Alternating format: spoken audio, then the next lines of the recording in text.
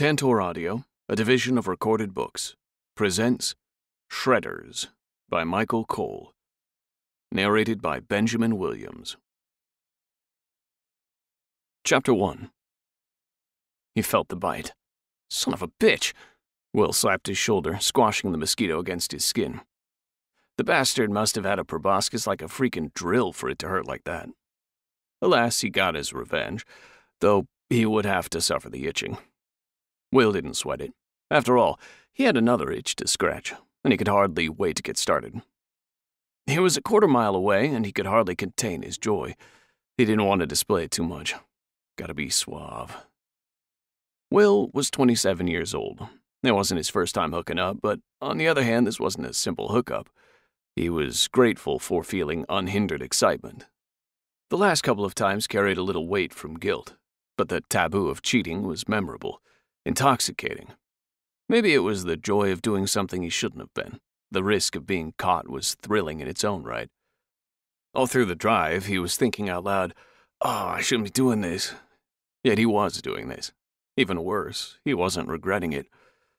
Before, he at least felt a little guilty, but was still drawn back. It was like a clean living person doing an illegal drug and liking it, but wanting to stay clean. He rationalized it as the wedding was not for another six months. Technically, it wasn't adultery. Of course, if Vanessa used the same logic to screw around, he would be pissed, but Will deliberately forced that consideration from his mind. What she didn't know wouldn't hurt her. He passed a long stretch of rural area. Aside from a couple of properties, this whole side of town was nothing but summer green. There were more residential properties on the other side of Lake Carlson, but over here it was mostly country. He pulled into a winding dirt driveway, which led to a two story house. With 3,000 square feet, its occupant had more than enough space. It was a nice property by a decent sized lake. To think it was paid off made him a little jealous. The living room light was on, but she wasn't inside. Will could see a small fire in the front yard flickering just a few meters from the lake shore. He saw the silhouette of a trim woman with hair that fell halfway to her back. She stood up as he parked the car. Even in the dark, he could tell she wasn't wearing much. Tight jean shorts and a cropped tank top. Their effect was immediate. And knowing Leah Tally, that was by design. She stepped into the stream emitted by his headlights, an athletically built woman who took pleasure in showing off her figure. Her sandstone colored hair hung to her mid back. She put a hand against the house and leaned, enticing her visitor with that smile. Will shut the car off and then got out. He hesitated only to toss his wallet and keys in the center console. He wasn't worried about anyone robbing his car. From what he knew, there had not been a serious crime committed in this town in over a decade. The cops here loved it. Who could blame them? If he could make 50 grand a year eating coffee and donuts, he would. Was worried you were getting second thoughts about coming? Leah said. Not a chance, Will said. She smiled again. The headlights, which Will forgot to switch off, gave him full view of freshly whitened teeth. There was hardly a flaw to be picked out with Leah. Not a stress line, perfect weight, well disciplined with a diet and exercise. Not worrying about a mortgage and car payment likely helped a little. Will had learned that her dad used to own a tractor supply market a few miles north. Being the only one for several miles, he did great business. A couple of years ago, he got terminal cancer in his lungs, which spread rapidly. He sold the business and gave Leah the profits before he died. She had been living comfortably ever since. Will finally turned the headlights off, then joined Leah by the house. He took the liberty of touching her bare shoulder. Want a beer? she asked. Won't say no to that, he replied. She led him back to the fire. He sat on a chair next to the cooler. He cracked open a beer and gazed out into the lake. Even with the intoxicating presence of a woman as beautiful as Leah, he still had to take a moment to appreciate the nature around him. The crickets were chirping in the background. The water itself was calm, almost motionless. Something splashed in the distance, probably a fish catching a bug. The best part, in his opinion, were the loons. Right as he sat down, an eerie yet beautiful call echoed across the lake. It was followed immediately by another, originating from somewhere else. I bet they're lovers, calling to each other, craving companionship, Leah said. Could be. You don't call me much. Well, I have to be discreet. She smiled but didn't laugh. She pulled her chair next to his. Wasting no time, she casually reached over and undid the first button on his shirt. What's Vanessa up to these days? Will cleared his throat. It was surprising that she would bring his fiancée up. He wasn't sure if she was expecting a serious answer, especially since she was unbuttoning the next button of his shirt. Good. She reached under his shirt and rubbed his chest. Enjoying her new job? No complaints so far, he replied. She began planting a series of kisses on his neck. They were gentle at first, but were quickly intensifying, as was her breathing. And his. Has she moved in with you yet? Uh, no, not yet. That'll be in a month. Was this the right answer at this time? Judging by her actions, it seemed to be. You excited? I suppose so. Leah pulled away. You suppose so? Will couldn't tell if this was sarcasm or if she was genuinely irritated. He decided to go with the flow. Very excited. That smile returned, and Leah went right back to work. A carnivore she was. Her hands had become claws, raking at his waist. She planted her lips against his. She's a nurse practitioner now, right? Uh huh. Once again, his answer spurred her on. She leaned back just long enough to pull her top off and throw it into the dark. Immediately, she threw herself back onto her lover. Will's hands moved up her bare back while he helped himself to the goods in front. Leah was a goddess. Every answer was like a drug, adding to a high which had no limits. This man chose her over his fiancée, who was also an accomplished career woman. Nurse practitioners made six figures, and still he decided to spend this night with her. As he had a thrill from doing something he shouldn't be, Leah was getting a thrill from being the other woman. What does she think you're doing tonight? It took several seconds for him to answer. He was pulling his shirt off and getting back to work nipping at her tan flesh. Uh, I told her I had a stomach bug. Didn't want to hang out. Oh, she said. She slid off him and strutted toward the lake. Panting heavily, Will watched her pull her shorts and panties off, her bare ass visible in the campfire's glow. She looked back and smiled, continuing on toward the lake. She was feeling especially adventurous tonight. She had one last question for him, and it had nothing to do with a woman. You coming? Will stood up, kicked off his shoes, and removed his pants. He stood basking in the glow of the fire like a warrior in Native American times. He heard a scrumptious mmm sound from his lover. She was in the water, backstroking further out.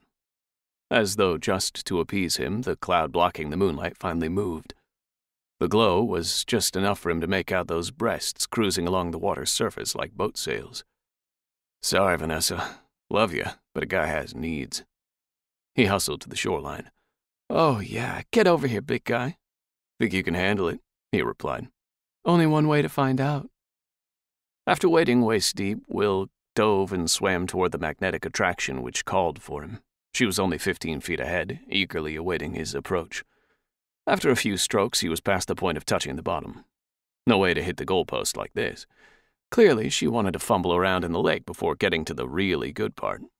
No problem. This was far more adventurous than anything Vanessa ever wanted to do. He closed within a couple of yards. Leah laughed, bracing to be seized in the mighty arms of this man whom she proudly seduced. Suddenly, she yelped and ducked under. Right away, she surfaced again, gasping for breath. Will laughed. Oh, no, you're not fooling anyone. Get over here, you filthy whore. Leah yelped again and floundered. She thrashed her arms out, sending frenzied laps of water toward Will. She lunged at him, not passionately, but desperately. Something's biting me. Ah! She writhed in agony, accidentally driving Will beneath the water. He hit the bottom, immediately pushing off with his feet. He rose to the surface like a rocket. Leah was thrashing, shrieking with each frenzied movement. This was no bizarre act. She was truly in anguish, as though she was being stung by a hundred wasps simultaneously. Come here, the naked Will shouted. He reached out and grabbed her hand. He grasped it tight. The fingers were thin, bony, completely lacking flesh. There was no mistaking the texture of those hands as they'd been all over him. He pulled her closer, bringing her whole arm into the moonlight. There was no skin or muscle, it was all bone. Trying not to panic, he pulled her close to him. She was spasming, but no longer thrashing. She hung limp against him. There were no breasts pressing against his chest. They were gone, stripped away.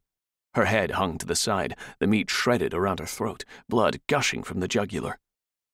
This time he gave way to panic. He pushed her corpse aside and turned toward shore. Pain struck. He jolted. It was like a mosquito bite times ten. Another hit, then another, followed by another. One became five, five became ten, ten became a hundred. His flesh was being pulled every which way at once. Will struck the water with his hands, simultaneously attempting to swim and fend off these invisible attackers. His efforts only served to give them more meat to peel away. He flailed, mouth agape. He wanted to scream, but water kept rushing into the back of his throat. His flesh was coming off in golf ball sized chunks. His toes were ripped from his feet. Ribbons of skin and muscle were peeled from his legs in a matter of seconds. Then they went for his penis and testicles.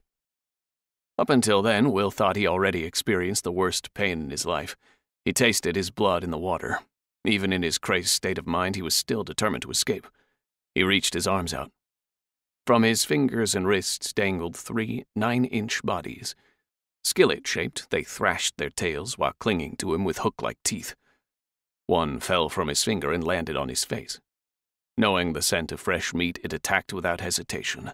It ripped the eye from his socket with hardly any effort. Will sank into the weed bed, landing alongside Leah's skeleton, void of flesh.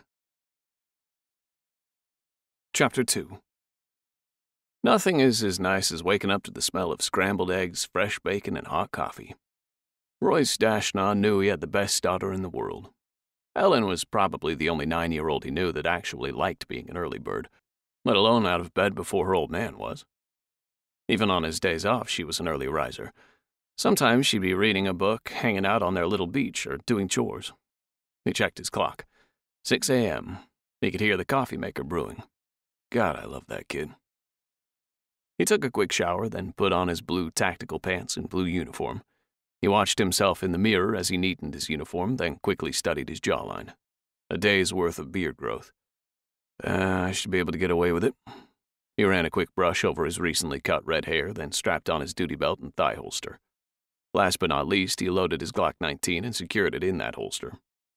Now for the important part eggs and coffee. Royce found Ellen in the kitchen. For nine years old, she was tall. She had her mother's blonde hair and green eyes, the only good contribution that witch gave to the kid. Morning, Dad. Hey, kiddo. He sat down at the dining room table. The plate was already set up, the contents smelling delicious. Kid, how lucky am I to have you? Oh, very lucky, she replied. Royce smiled. How mature and sharp she was. All A's in school, reading at a junior high level, and showing up the boys in athletics. Want creamer this time, or are you going to be a man and drink it black? Royce nearly choked on his foot. Where'd the kid get that wit? You're putting me on the spot, he said. I'm forcing you to think carefully. That's what you're always telling me, right? He smiled. I guess I better aim to impress and drink it black this time. Ellen filled the mug and handed it to him. He took it, then looked across the table. There was no other plate. Thanks. Did you eat already? Yep. Gosh, maybe I should get you a job in the department, he said. Hey, I'd go for that. Better than hanging out at Jacob's. Oh boy, now for the dad in me to kick in. Oh, come on now. Jacob isn't that bad. He's not bad per se, just really annoying. He's glued to that stupid iPad, and he's a wuss. Oh, be nice. It took everything not to laugh. Jacob was a nice kid, but Royce agreed he was a bit of a wuss. Once he took him along on a fishing trip, and the kid couldn't stand the sight of a worm. On top of that, he could barely set the hook. He either yanked on the rod too soon or waited too long. And yes, like too many kids in this generation, he was a little too heavily drawn to his electronics. Being the dad, Royce couldn't admit that to Ellen. I'm not being mean, she said. I just don't see why you think I need a babysitter. Believe me, kid, it's not what I think. It's the law. You're only nine. Gotta be at least 13. They're strict on that in this state. Oh, stupid government bureaucracies. Think they know better than everyone else. Meanwhile, they go ahead and screw up the budget and everything else they touch. But hey, gotta look over the shoulder of parents. She ran hot water over the dishes as she ranted. Once again, Royce tried hard not to smile. Damn, I freaking love this kid. All the lessons he taught her stuck like glue. She knew how to save money, how to cook for herself, had a good grasp on math, and also knew the importance of questioning things. More specifically, not taking things for granted. The only negative personality trait she inherited from him was the sense of ego. Royce had overcome his in recent years. Prior to that, he always had to one up everyone. The smartest guy in the room, as a previous girlfriend once described him. You like Jane, though, right? Uh, she's okay. Ellen tried to think of the most politically correct answer as she scrubbed the dishes. She's nice to me, doesn't treat me like I'm an inconvenience. She better not. I'm paying her pretty nicely to have you over there, he said. Oh, no, she laughed nervously, which in turn made Royce a little nervous. Jane was 19 and was home from college. Royce was starting to suspect she brought the crazy college life back with her. She's not having boys over, is she? Just once. Ellen saw the fork drop. Um, they don't do anything. I don't care if they do anything as long as it's after I pick you up. He picked up his fork, sipped his coffee, then continued eating. That's good to hear. What else was there to say to that? You could take me to work. I should work in the office. Huh, I'm sure you could. But again, there are laws. Ah, government can't keep its nose to itself. God forbid they see what goes on in this house. Royce finished his plate and handed it to her. All right, my little child laborer, clean that up for me. She took the plate, then pointed a finger at him. I ought to get something for being such a good kid. I vote we watch Predator tonight. Royce walked past her, deliberately hiding his smile. I'm such a horrible father. Predator, huh? Yeah, movie's bad, uh, really cool. Yes, yes it is. Royce grabbed his ball cap and pulled his vest from the computer chair. You sure you don't want to watch anything like, I don't know, Frozen? Movie sucks. People freak out over it because it has one catchy song. Royce once heard a coworker describe Ellen as a little Royce Dashnaw with a ponytail. He had to agree. Oh, all right. We'll watch it later on. I'll even get popcorn. Now go get your stuff. Gotta leave in a few minutes. Yes!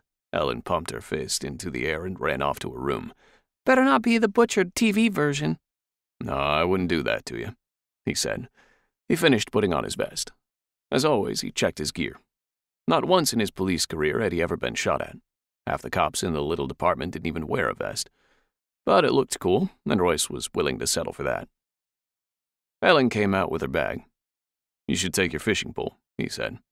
Yeah, I know, Ellen replied, reserved. Then I'd have to share with Jacob. I'd have to put on the worm, teach him how to cast again, unhook the fish, if he even manages to set the hook. Royce hesitated before responding. Fact is, he agreed with her complaints. Aside from her, he hated sharing his fishing rod with anyone, too. Hell, he sometimes hated letting Ellen use it. That's why she had her own. However, he needed to be a good dad and teach her to be kind and help others. Well, why don't you try and teach him? If he catches on, maybe we'll buy him one for Christmas or something. I guess. Hey, if you want to watch Predator, cooking breakfast isn't enough for you? I thought you did that from the goodness of your heart. I do, but still. She stuck her tongue out at him. Ha, smart Alec. Go grab your tackle box. Who knows, maybe you could teach Jane something, too. Ellen went into the back room to get her tackle box and rod. You ought to be the one teaching her. Royce swallowed. Hooking up was a subject matter he wasn't quite ready to share with his daughter. She could be 30 and he wouldn't be ready for that. Uh, he chuckled as he stalled to figure out a response. She's uh, a little young for me. Heard her call you hot, Ellen said. Not interested. Moving on. That's good. I'd rather you get together with Pam from work. I know she really likes you. Okay. If this conversation goes any further, CPS might start investigating me. Let's get out of here. Ellen smiled. Like any kid, she took great pleasure in driving her old man crazy. She went out the door first. Royce flicked the lights off. Definitely my kid. Chapter 3 Hey, come on, little bro. Time to rise and shine. Jacob lifted his pillow and squeezed both ends against his ears. The whole point of summer vacation was to not get up at the crack of dawn every day. Go away. He heard the twist of the knob, followed by footsteps across his room. With the pull of a curtain came a stream of sunlight so bright that even his pillow couldn't shield him from it.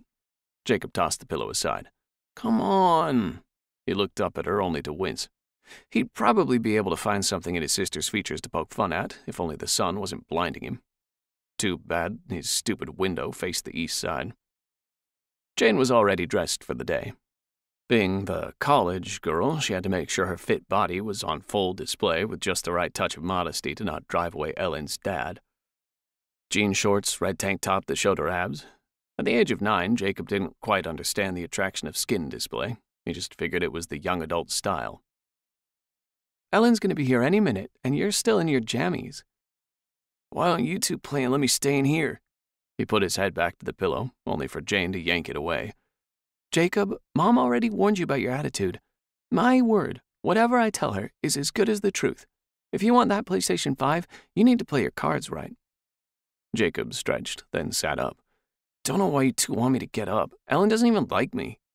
Aw, you sound disappointed. I think it's really cute you want her to like you. What? You have a crush. What? No, ew, not that way. Jane chuckled.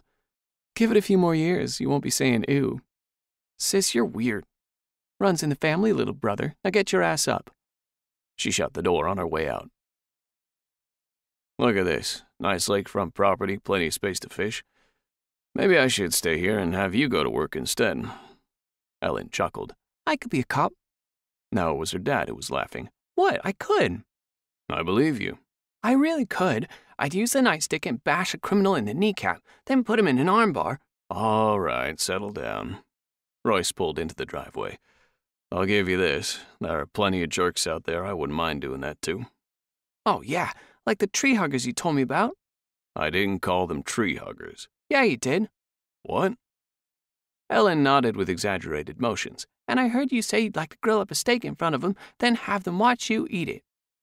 Royce snorted. I still don't remember saying that to you. Were you eavesdropping on my phone conversation with Pam? It's not eavesdropping when I can hear you across the house. Royce bit his lip. All right, you've got me there. That day I had some unpleasant encounters, was venting to a friend after work, and I might have said a few mean things. Come on, let's get you squared away. They got out of the SUV. Listen, sweetie, it's okay for people to be passionate about things. Some people tend to be a little overbearing. They tend to have a my way or the highway attitude. They can't accept the reality people have different tastes and opinions. Ellen collected the fishing rods and followed her dad to the door. Is that the problem with the environment people? They're called activists. And yes, at least in the case of this particular group, they tend to get pretty mean when they don't get what they want. What do they want?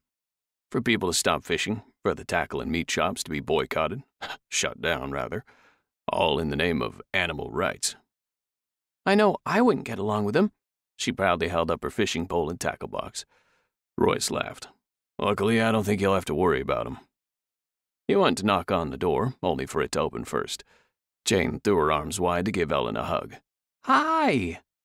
Oh, Ellen made a strangled sound as Jane squeezed her tight. Good morning. How you doing today, little wannabe sis?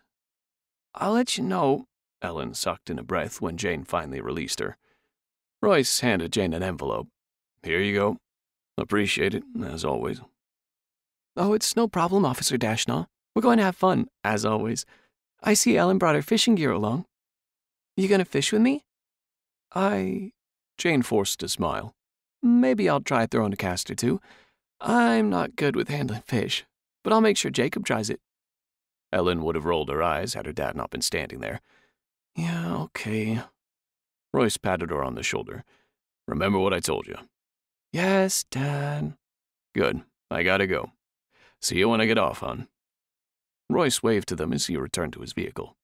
As he buckled in, he switched his personal squad radio on. As he backed out of the driveway, it started going off. Dispatched any available unit, we've got a call at Monty's Tackle.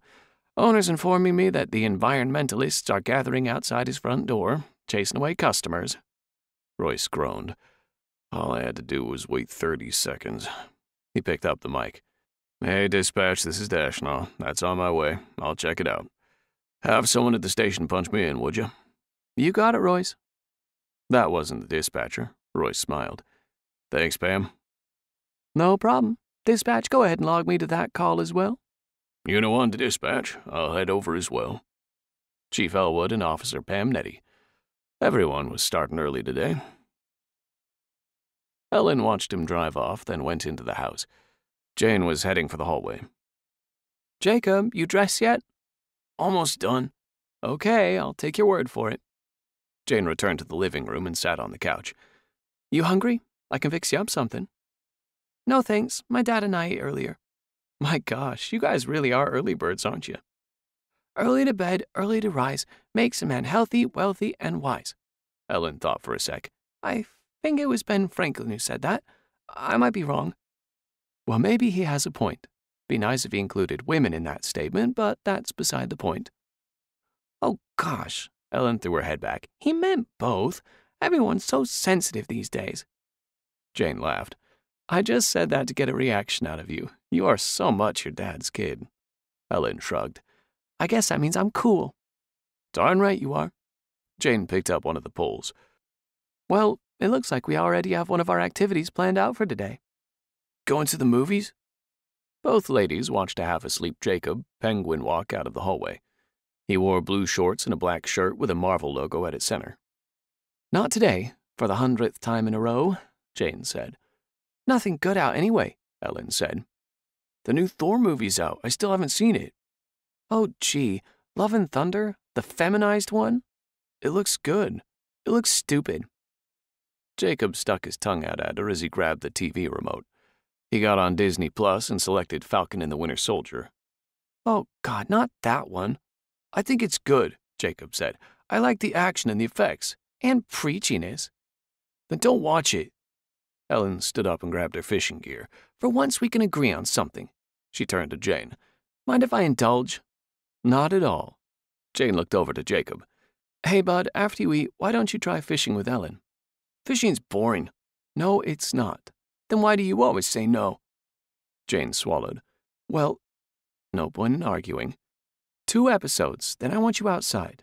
Don't have to fish, but at least be out in the fresh air. Mom and Dad don't want you in front of the television all day. It's beautiful out. You'll have all winter to be cooped up in front of the television. All right. It'll be fun. We can play games. Right, Ellen? Sure. Ellen's enthusiasm was partly genuine. Jacob was a little less annoying once the activity got rolling. Until then, she would leave him to his show, pretend Endgame was where the MCU officially ended, and catch some big ass fish. Chapter 4 Roy sped through the small town of Lorenzo, Michigan, ignoring the landmarks he usually enjoyed during his morning route. There was Dayton Park, a nice little area with a playground and a little creek. He'd often wave to the kids who recognized him as he drove by.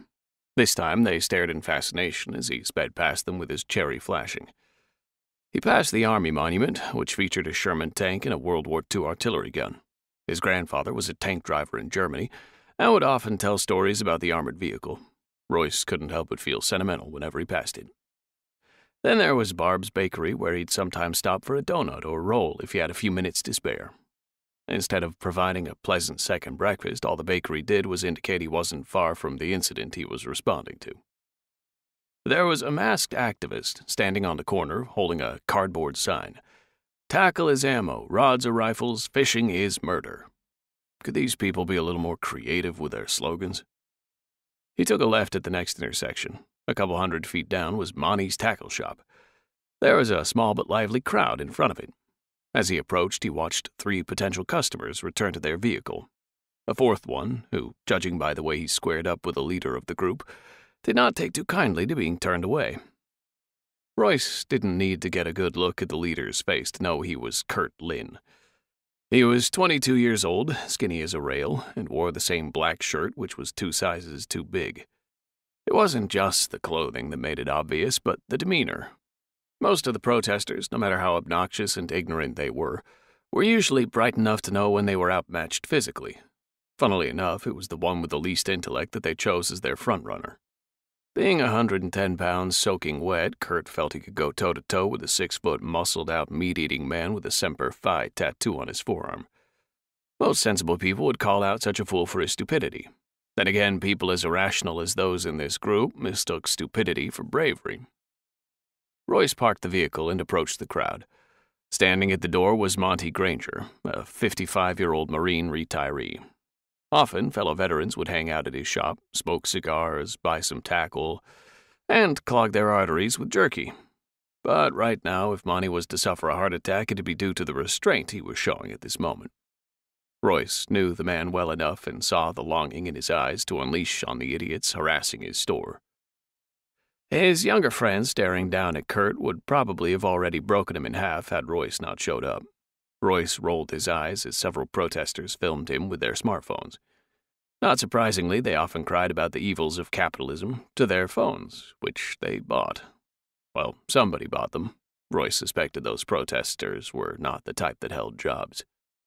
You little punk, you're playing with fire. Stop blocking my way, the customer said.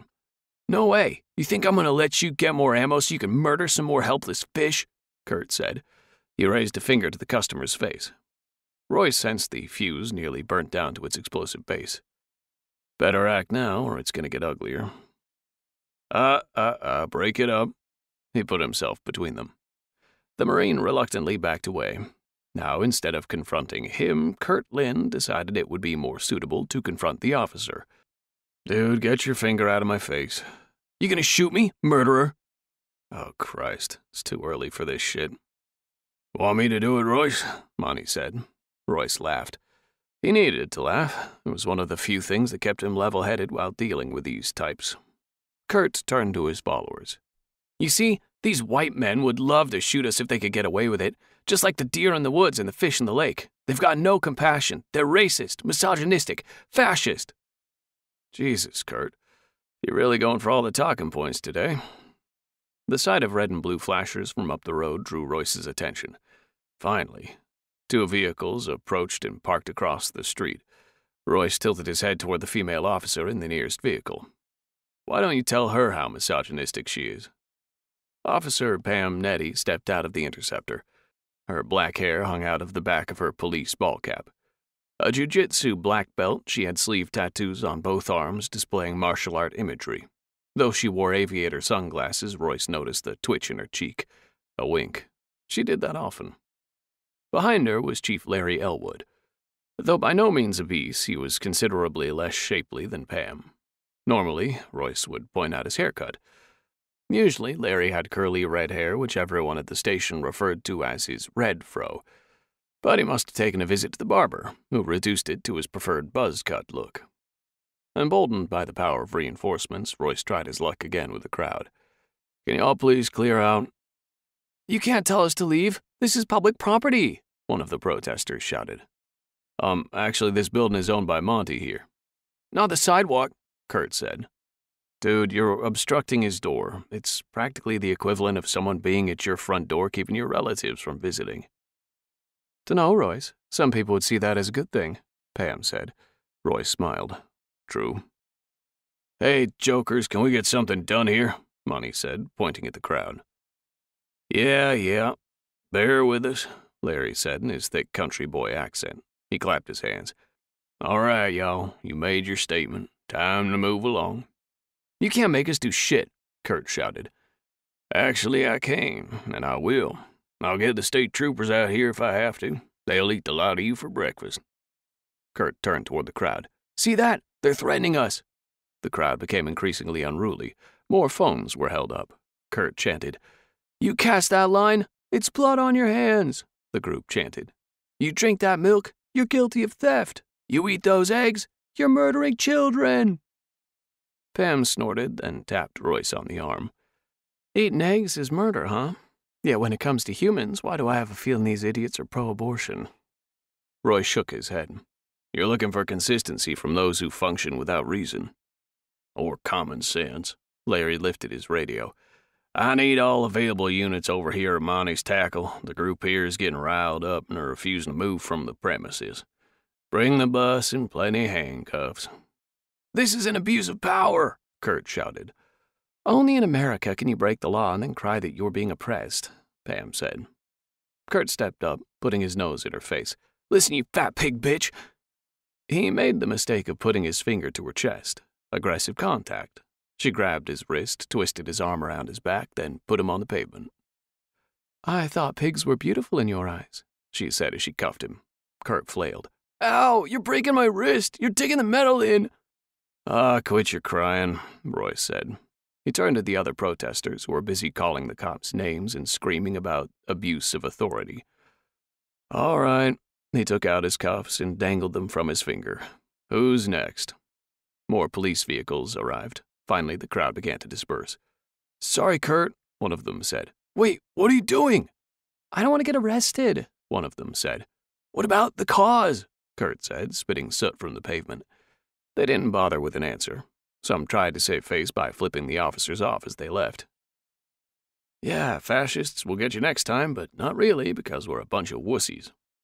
Royce exhaled sharply. Glad that's over. A police SUV pulled up. The department's tallest member, Holman, stepped out and approached. At 6'8, he towered over the rest of the group. Hey, party's over already? Yeah, you can thank Pam for ruining your fun, Roy said. You're a bunch of fascists, Kurt said. Pam was grinning ear to ear. We should start a drinking game. Every time he says the word fascist, we all take a shot. We'd all be blackout drunk by lunch, Larry said. Holman looked down at him and laughed. How much you weigh, kid? Eighty pounds? He knelt down and lifted Kurt to his feet with one hand. You need some meat on you. Fuck you! Oh boy, you said the sacrilegious word meat, Larry said. Whoops, the group laughed. All right, Goliath, why don't you take the soy boy to the station and book him? Larry said. With pleasure, sir. Hey, I'm gonna need a new set of cuffs, Pam said. Holman tossed her his set, then goaded Kurt to the SUV. Is this how you treat prisoners? Kurt said. You're not a prisoner, you're a detainee. There's a huge difference. Though if you keep this crap up, you'll become an inmate at Jackson State Penitentiary. He pushed Kurt into the back seat. You're all a bunch of. Holman closed the door, cutting him off. He smiled at his fellow officers. This'll be a fun ride. Don't goad him too much, Larry said. Holman gave a thumbs up, then drove off. Monty checked the outside of his store. Thanks, boys and gals. He looked at Pam. Especially you, ma'am. Gotta say, that was so satisfying to watch. Us devil dogs gotta look out for each other, she said. Monty and his customer saluted her, then entered the building. Larry returned to his vehicle. Well, that's enough fun for today. I'm heading back in. Pam, I'll take care of the report. Just do a quick supplement for me some point today, will you? Gotcha, Chief. They waited as he left. She then looked over at Royce. Wanna ride with me once you get your car to the garage? Oh, I suppose so. You always act surprised when I ask you that. Well, I, uh. Royce hated moments like this. Once upon a time, he was the stud of the century. Then he matured and became a single parent. Maybe it was the idea of introducing someone new to his daughter, or being afraid of taking time away from her. His mind was lost in a whirlwind of thoughts when it came to that issue, and it usually kept him from dating. Just being modest, I guess. Uh huh. She winked at him. See you at the station. Royce returned to his personal vehicle and started it back up. Before departing, he took a moment to watch her go to her car. She was a charming woman, well shaped, and undoubtedly interested in him. Of all the voices in his head right now, it was Ellen's. Dad, she really likes you. You should take her on a date. God help me. Chapter 5 Ellen watched the jitterbug splash down near the lily pads. She let it sink for a moment, then started cranking. Jane leaned back in the seat next to her.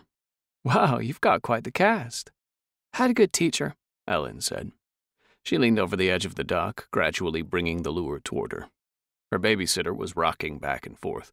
She wished her seat had an umbrella. Unfortunately, there was no shade on this dock. The only place that offered protection from that blazing hot sun was where the tree hung over the backyard. Jacob had no qualms about sitting there. He leaned back in the wicker chair, bending the back legs, despite his sister's warning for him not to do so. Hey, Jake, why don't you come out on the dock? And burn to a crisp? No, thank you. He tapped his feet on the ground, stir crazy. The need for his electronics was eating at him like a drug withdrawal. Stop leaning back. I already told you. I'm bored. Jane pointed at the water. Then try fishing. Learn something new for a change. Jacob turned his chair away. I'm good. Ugh. Jane shook her head and wiped a towel over her face. Phew. Ellen glanced at Jane. You're sweating. I'm fine, kiddo. Your makeup's coming off. It is not. It's. Jane looked at the tan stain on her towel. Oh, hell. Jacob pointed and laughed. Ha ha. Oh, shut up, you little shit. Jane covered her mouth, then looked at Ellen. Shoot, sorry. Ellen laughed. My dad's a cop. We watched Aliens the other day. I'm no stranger to adult words, as Dad puts it. Still, you didn't hear me talk like that. I'll tell Mom, Jacob said. Joke's on you, kid. Mom doesn't give a shit. She covered her mouth again. Oh, forget it. I'll be right back. Jane hurried back to the house, snapping her fingers at her brother as she passed him. Jacob, cast a line. Do something other than sulk. Jacob groaned. At this point, doing something was less painful than listening to his sister nag him. Ellen was making another cast as he approached. She gave him a quick glance, then turned her attention back to the lure. Jacob sank into Jane's seat and watched. How do you know when the fish bites? You feel a sharp tug. Could mean you hooked a lily pad. We hope you enjoyed this preview. To continue listening to this audiobook on Google Play Books, use the link in the video description.